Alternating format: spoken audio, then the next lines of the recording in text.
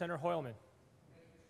Uh, I, I do appreciate the, the sponsor for having a, a, a forum or a hearing on this, on this matter. Um, you know, I, I am uh, opposing this bill for a number of reasons.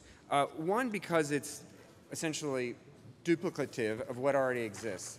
Uh, the, the REV plan is essentially, Mr. President, a cost benefit analysis.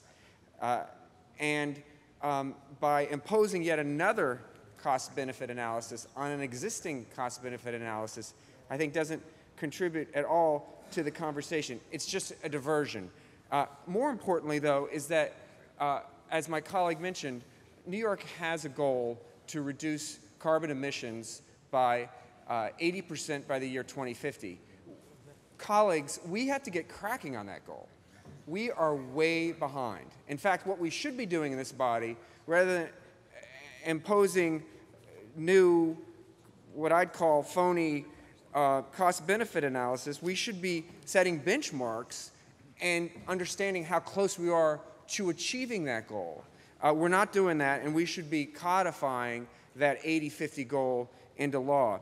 What concerns me is that there is, sadly, an ulterior motive here, which is some misconception that uh, the upstate uh, power plant grid is going to be not part of the state's overall um, solution in climate change. And I don't think that's accurate. I think that um, REV is uh, looking at how we can incorporate uh, transmission into a clean and green energy plan. It's a very important part of us meeting the uh, 80 50 goals, and we should be supporting uh, the administration uh, and moving forward rather than trying to create obstacles. So I'll be voting no.